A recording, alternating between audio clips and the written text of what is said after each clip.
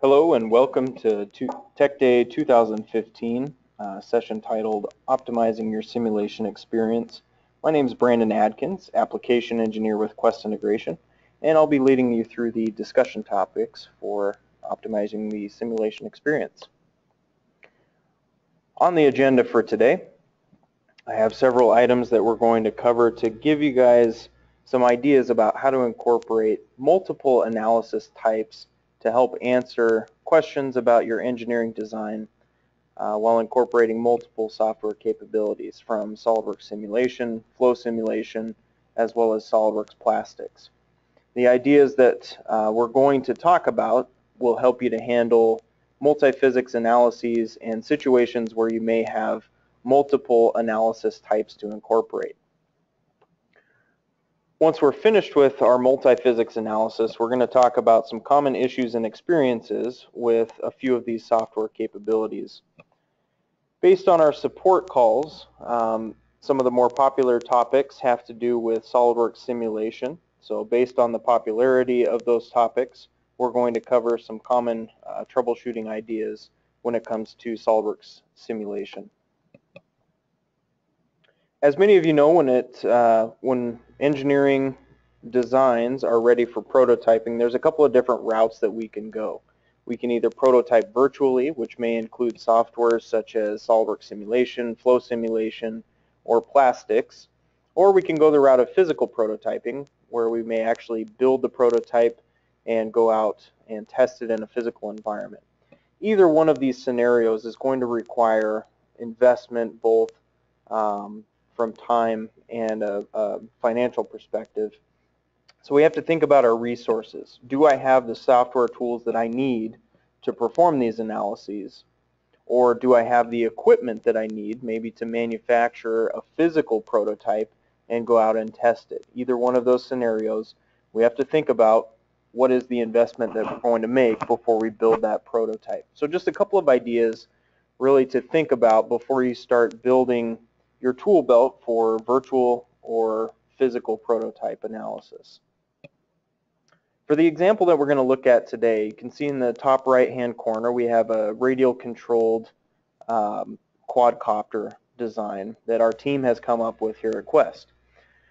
What we need to analyze before we move forward with production on this is are some of these new components going to be strong enough to do the job that we've designed them for. So we're going to be performing structural testing on a few of the components for those arms where we're going to mount the motors and the propellers.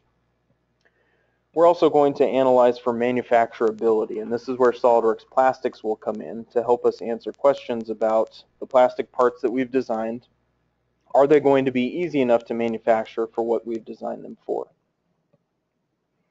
Before we jump in and actually begin running some of these design validations, I want to talk about the different products within the SOLIDWORKS product line to help you guys get a better understanding of what tools you may have already in your tool belt. If you need to perform a static analysis on your assembly, then SOLIDWORKS Premium is the tool for you. If you do get into any kinematic analysis or event-based motion, SOLIDWORKS Premium does also have those tools available. The next step above that is SOLIDWORKS Simulation Professional. If you need to analyze your structure for frequency, buckling, fatigue, optimization, thermal drop testing, or pressure vessel relative to ASME pressure vessel codes, Simulation Professional is the tool that you would use for that. The next step above that is SOLIDWORKS Simulation Premium. If you need to analyze nonlinear materials, composite materials like carbon fiber, or if you get into any advanced dynamic situations, things like seismic testing, you would use the simulation premium package to perform those analyses. Those are all of the finite element analysis packages um, within the SOLIDWORKS product line. In addition to that, we also have the SOLIDWORKS Flow Simulation Computational Fluid Dynamics package, which will handle a variety of different scenarios for internal and external fluid flow. So we'll take a look at some examples with our quadcopter design using flow simulation. And we also have multiple levels of the SOLIDWORKS plastics package. This is designed to help engineers and manufacturers answer questions about manufacturability of the plastic parts that they've designed. Uh, and there's multiple levels, like I said, to SOLIDWORKS plastics to help us gain insight to things like warpage of material due to cooling, uh, fill time associated with manufacturing, some of those important questions that you may need to answer about your plastic parts. Now when we get into our analysis here today, um, we've talked a little bit already about multi-physics scenarios and really what that means is if we have simulations that incorporate multiple physical phenomena or multiple uh, different scenario types, that is a multi-physics situation. So when we think about it, this in terms of the tools that we have in SOLIDWORKS, for the analysis that I have for you today, we're going to take a look at flow simulation for a couple of different reasons.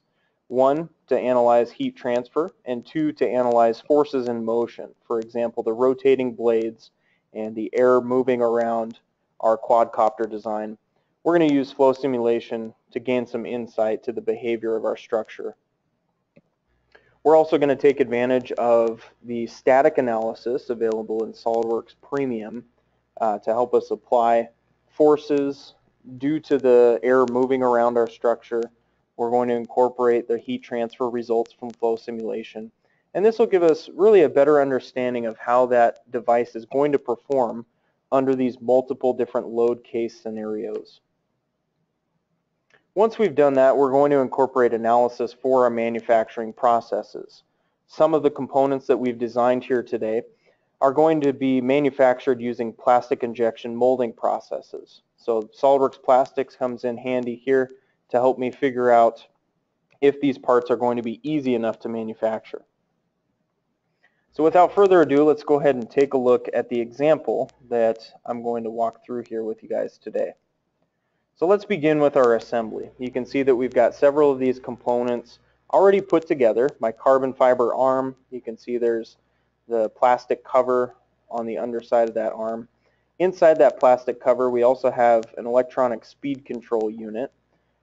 This is an electronic component that will emit some amount of heat as the quadcopter is operating. So that may need to be an important part of our analysis process. We'll have our rotating propeller. We have the motor mounted here. These are all components that will contribute to my structural analysis in some way, shape, or form. So beginning with the overall assembly, let's take a look at what we have set up so far.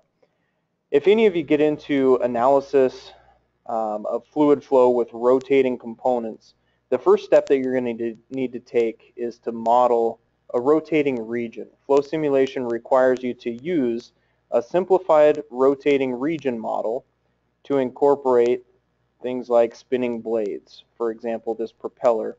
So we've just modeled um, a region around that rotating blade. Now when we get into the analysis portion, we're going to specify that rotating region. You can see here that we've specified our rotating body from the rotation part that I took a look at in the analysis tree. And we've just assigned an angular velocity uh, to it. In this case, we're going to spin that rotating region at 10,000 RPM in the clockwise direction. In addition to that rotating region, we've also incorporated an initial condition for the air around our arm structure. So we're going to say that worst case scenario, we'll be moving in the y direction with this structure at 15 meters per second. That'll be the hardest turn that this copter is designed for. So those components together will contribute to the forces incurred in the material in this carbon fiber arm and the plastic material uh, for the cover. When we get into the structural analysis, you'll see how we just how we incorporate the forces due to that rotating region and so forth uh, when we get into analyzing some of these part bodies. We've also specified some goals in this analysis, and this is important for flow simulation because if we think about it, really we, we should know ahead of time what we want out of this analysis. I already know that I want to gather information about forces applied to this carbon fiber material. So I've set some goals here to monitor pressure and forces on the blade material here in my assembly design. This will not only help me to gather the information I need very quickly, but it's also going to help the solver converge the study and make sure that I get accurate results in a reasonable amount of time. Now that we've set up our study, specified our goals, we can start taking a look at the results. So for example, if I need to investigate pressure distribution across the faces of those blades, I can see the minimum and maximum variation of pressure across those different faces on the model. So this is a visual representation, something that I can use to gather information very quickly.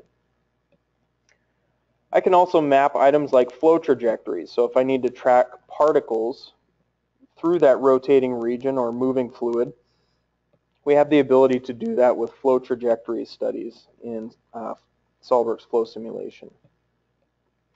Most importantly for this analysis, we're going to take a look at surface parameters. And this will, will allow me to gather numerical data about information like force components on the faces of those blades. So you can see I've specified all of the same faces that I used to set up my goals, and we're going to monitor the force components on those faces. Very simple to do, and we can get in and take a look at our minimum, maximum values in the X, Y, and Z uh, directions.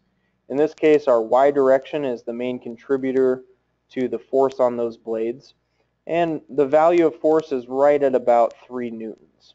Now, for the analysis that we're going to perform in the finite element analysis tool, we're going to be using that value as a reference. So the only thing I need to remember at this point is that value in the y direction is about 3 newtons.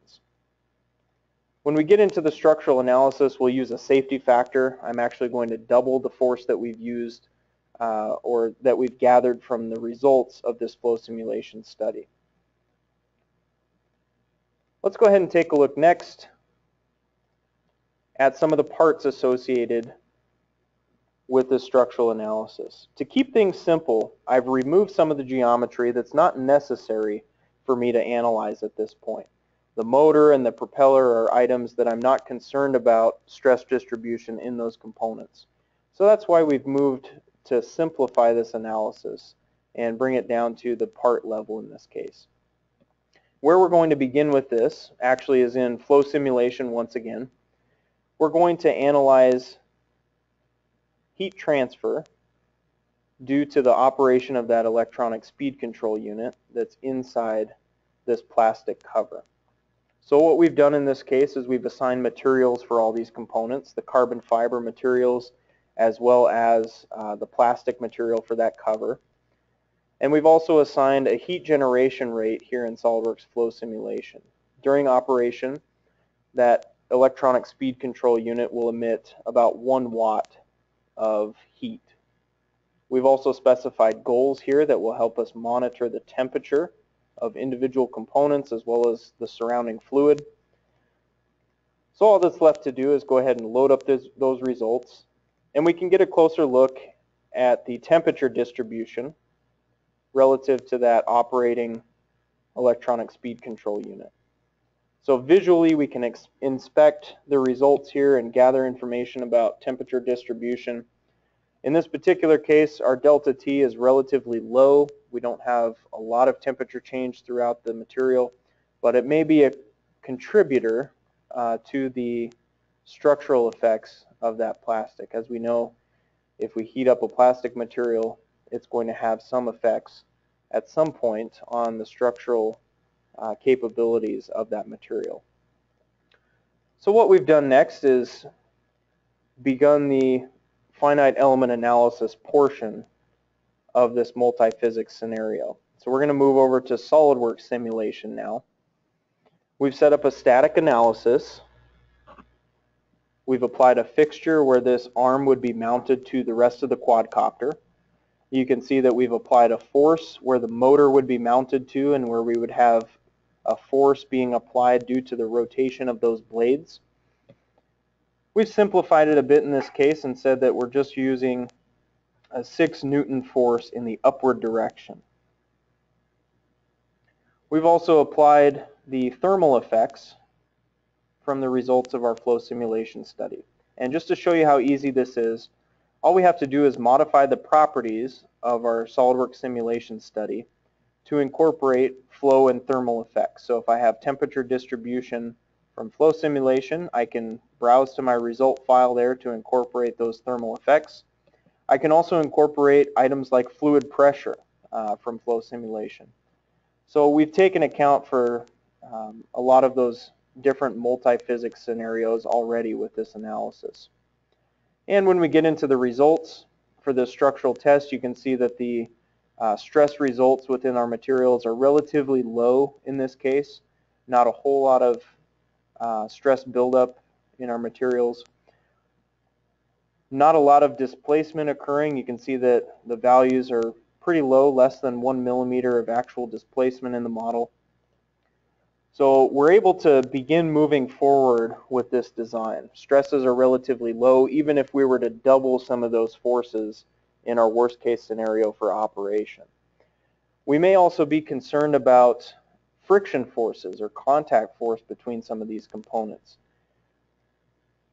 Anytime I'm interested in taking a look at some of these individual components, for example, this plastic clip that holds the plastic cover to the carbon fiber, if I need to take a closer look at the forces on those faces of contact, uh, for example, if I'm concerned about the components maybe sliding around or moving apart or something like that, I can take those measurements of free body forces to help me investigate where those faces of contact occur. Do I have excessive force in any direction that may cause a free body motion? In this case, the values of force at that location are relatively low so we can assume that these parts are going to be safe. They're not going to come apart during operation of our assembly.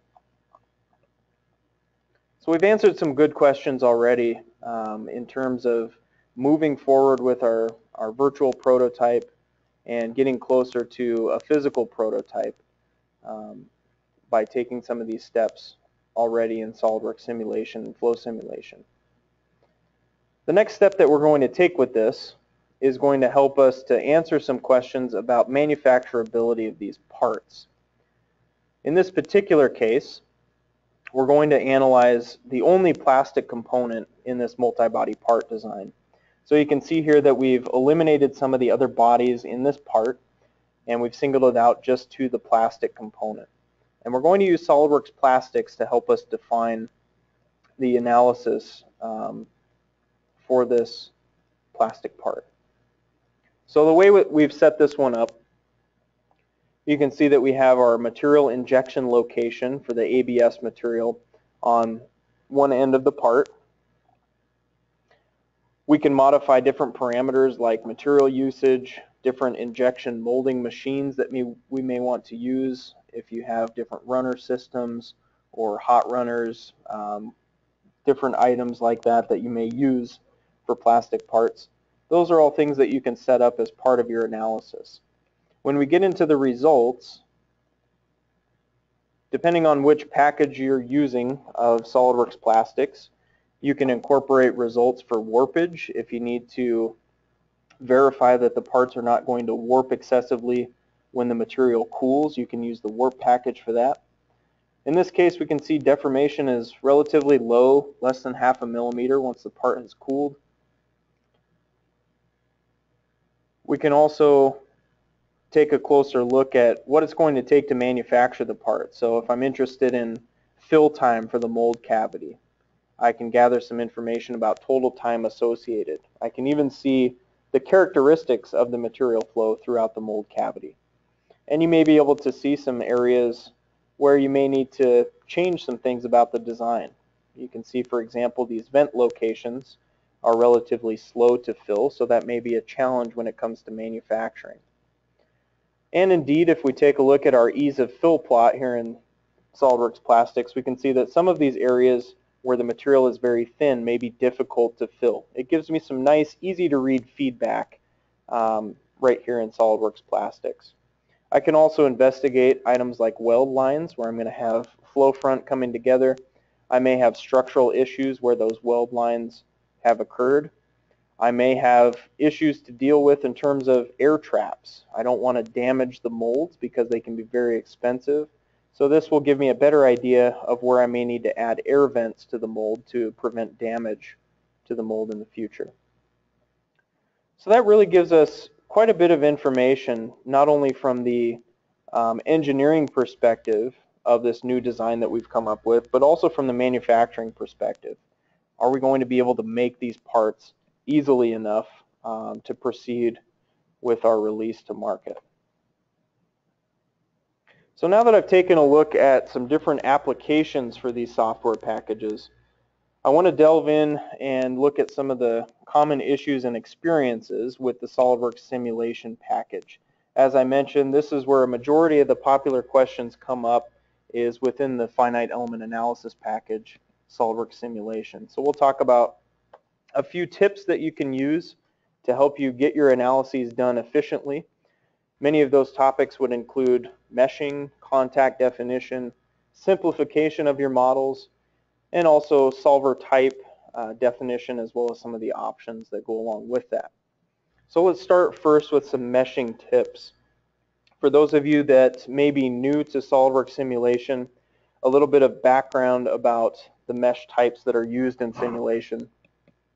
Beginning from the top here, um, SOLIDWORKS has solid mesh available. This is a three-dimensional tetrahedral type mesh, which typically fits best with bulky objects where you've got a lot of material to analyze, uh, solid parts. These are best analyzed with the three-dimensional uh, tetrahedral or solid mesh. For parts like sheet metal, very thin parts that you may need to analyze, we have a two-dimensional element type called a shell, which is a triangular shape element. This is best suited for thin parts, really to help you gain um, an advantage from a computational standpoint to help the analysis solve a little bit faster. Same theory applies to the beam or truss elements, which are another 2D element. These are designed to help us uh, take advantage of resources on our computer, help to analyze these different studies that we've set up efficiently and get results quickly. The beam and truss elements are typically suited for long extruded parts with a constant cross section. You'll see here in a little bit that these 2D elements are represented as a very simplified shape. So beginning from the left-hand side here, this slide you can use if you'd like to pause the video at some point.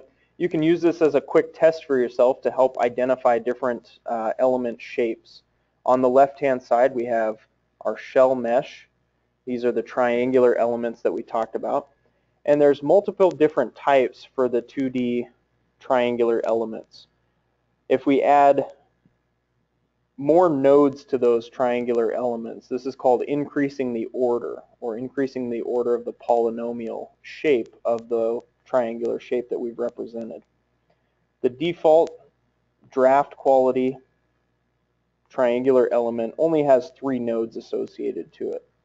If I increase the order of the polynomial that represents the edge of those triangular shapes, I'm adding more nodes along the edge locations, which is going to ultimately help me increase the accuracy of my study because I, I can account for more accurate deformation of my parts the more nodes that I have in my calculation. Moving along to the middle section, we can see our tetrahedral shapes on the left-hand side here is a draft quality tetrahedron, so we only have four nodes associated to the corners of that tetrahedral shape. If we increase the order of the polynomial associated to the edges of that tetrahedron, we can incorporate better accuracy for deformation within our parts that we're analyzing. So these are our tetrahedral shapes here in the middle. And as you may have guessed, the third element type here is the beam element. Very simple 2D element, again representative of long structural member type shapes with a constant cross section. This is representative of your neutral axis of those beam or truss type shapes.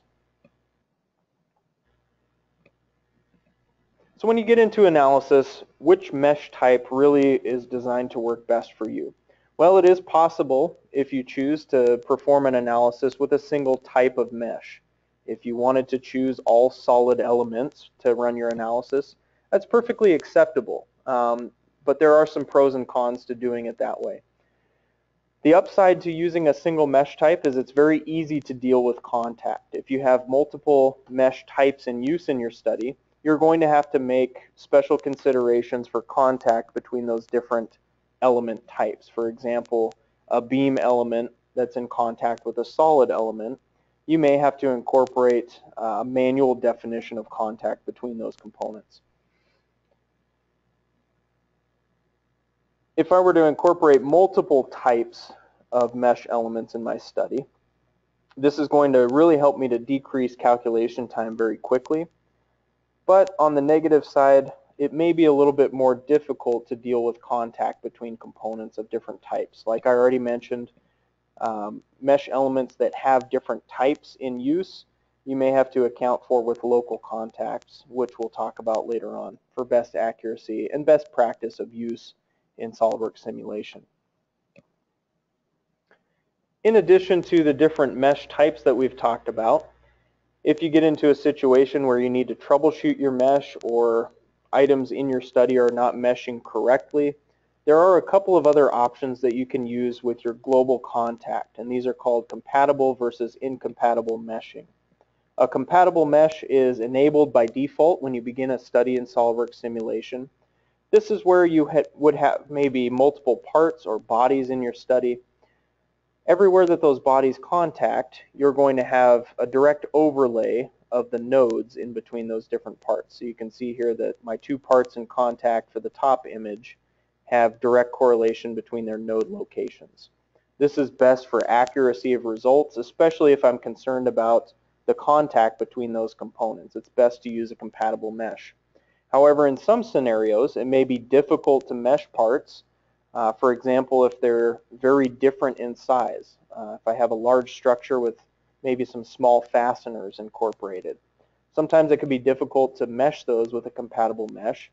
So an incompatible mesh is something that you have available to you. This is not going to follow the requirement of using a node overlay. Each part can have nodes in completely different locations. This may help to eliminate uh, some of the time associated with creating the mesh for your parts. However, you may have some concerns when it comes to dealing with stress concentrations in those parts. Uh, with an incompatible mesh, you may see some unexpected results in some locations, so that's something to be aware of. Uh, you may have some areas in the model where you may not be able to trust the results uh, as much as if you were to use a compatible mesh, but it is something that you can use to help speed up the analysis.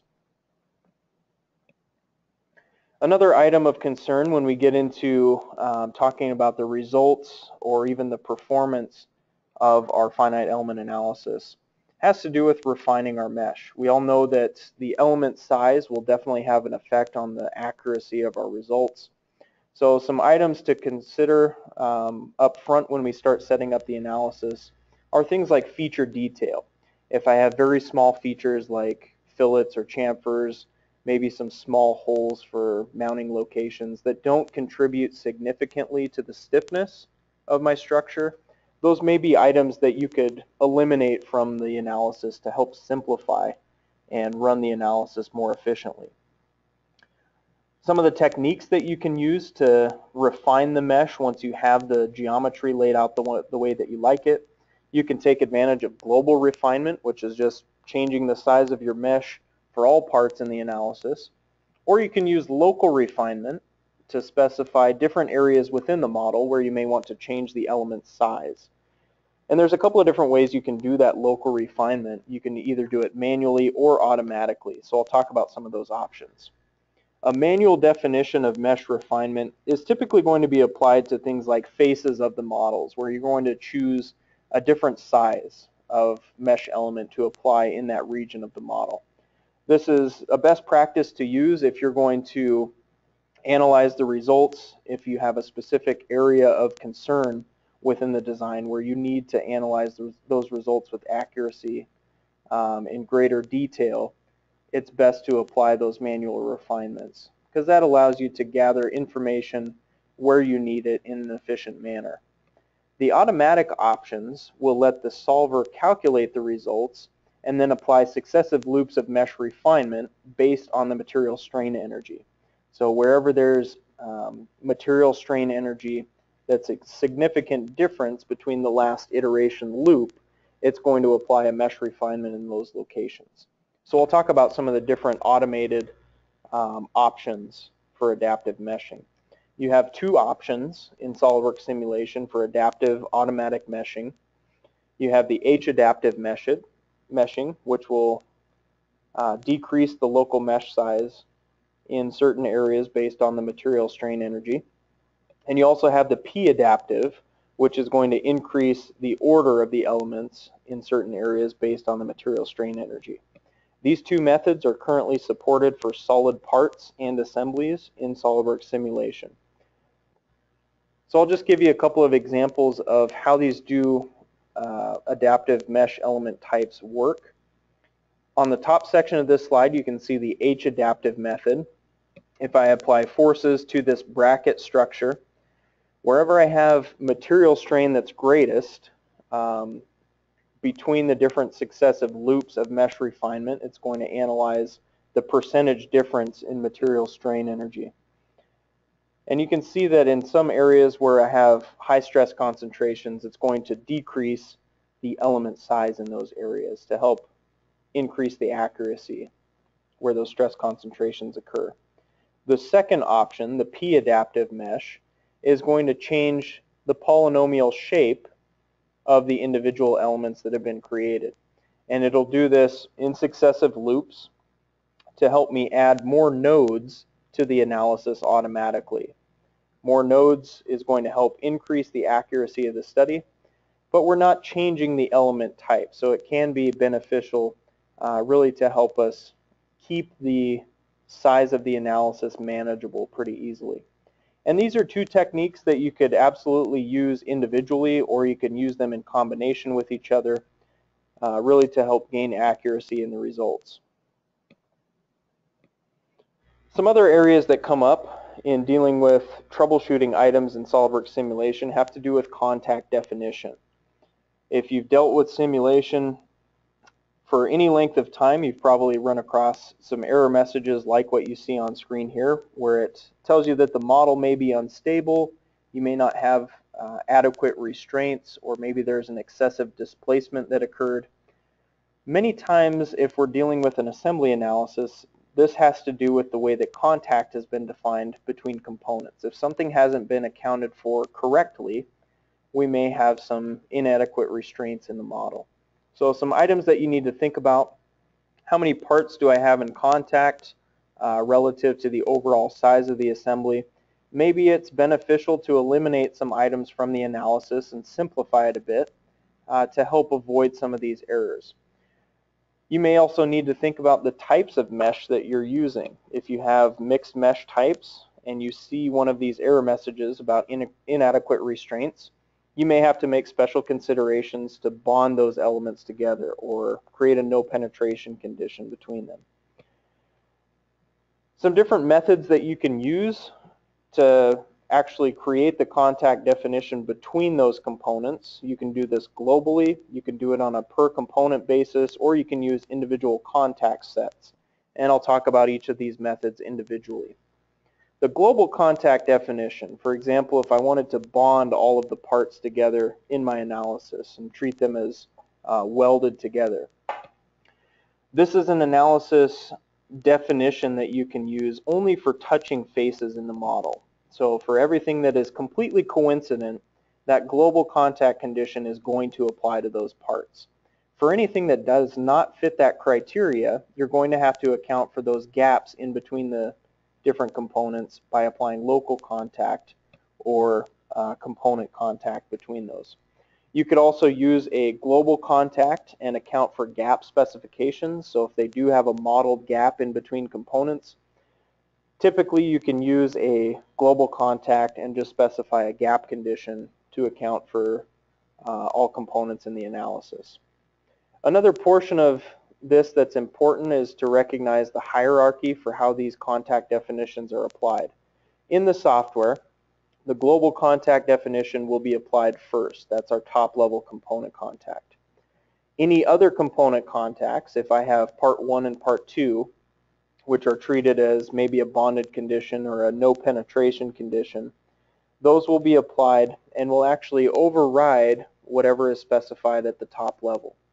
And then at the highest of that hierarchy is a local condition. So if I have two faces on the models that can't penetrate each other, I would apply that local no penetration condition and this will override any of the settings for these lower two levels of that hierarchy. So just a few items to think about when you're looking at contact definition. These items may be important to help you troubleshoot your analysis.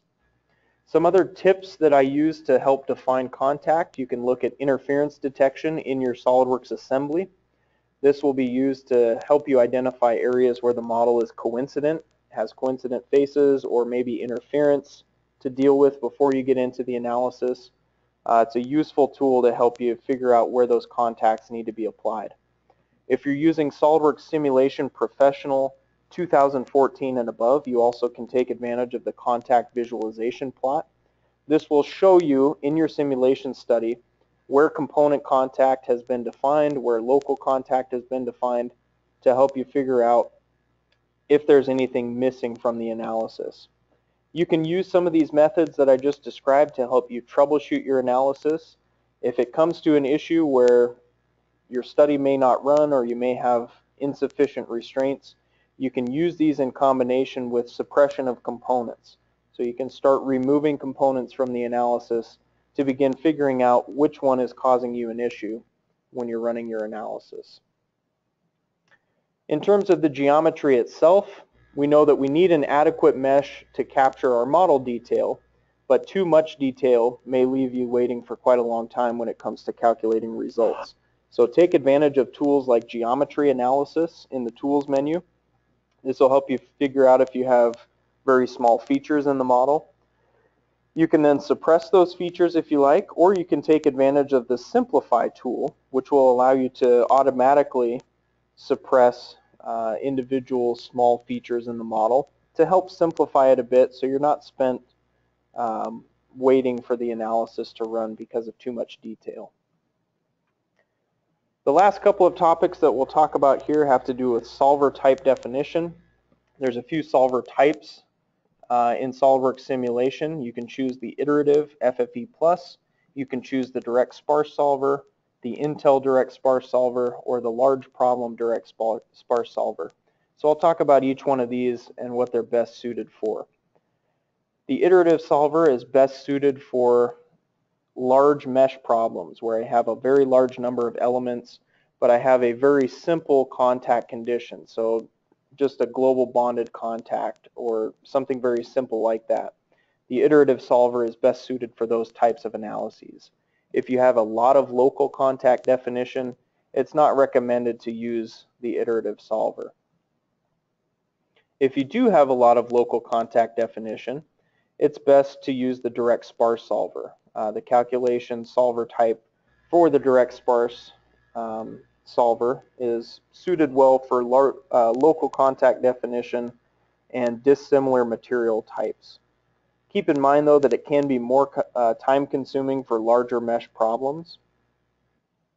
So that brings us to the next solver type, the large problem direct sparse solver, where we get the best of both worlds. We can handle larger mesh problems, but we can also take advantage of the specific capabilities of the direct sparse solver, like incorporating dissimilar materials and large numbers of local contact. The last solver type was introduced in SOLIDWORKS 2015, the Intel Direct Sparse Solver. Uh, this is available for the static, thermal, frequency, linear dynamic, and nonlinear studies. And it was designed to help leverage um, memory allocation for multi-core and in-core uh, capabilities, really to help improve solution speed. So just some different items that you can take advantage of. Choose your solver type, most of the time the automatic option is going to be a pretty good way to go.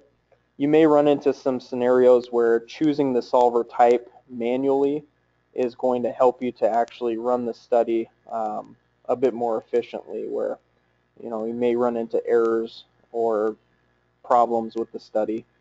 it's a good idea to try choosing the solver type on your own. Now that you know some of the criteria and some of the things to look for with those different solver types, you can do that ahead of time rather than allowing the software to go through and do it automatically for you. You'll always know which solver type to use. So we've covered a lot of those common issues and experiences. Hopefully you were able to gather uh, some new troubleshooting tips to help you through your SOLIDWORKS simulation analyses. Um, hopefully you were able to gather some ideas earlier on today about multi-physics analysis. If you do have any questions about anything topic related to this web session today, feel free to give us a call at the number listed on screen, or you can send any questions to support at qintegration.com. We'd be glad to help you out. Thanks again for watching, and I hope you enjoyed Tech Day 2015.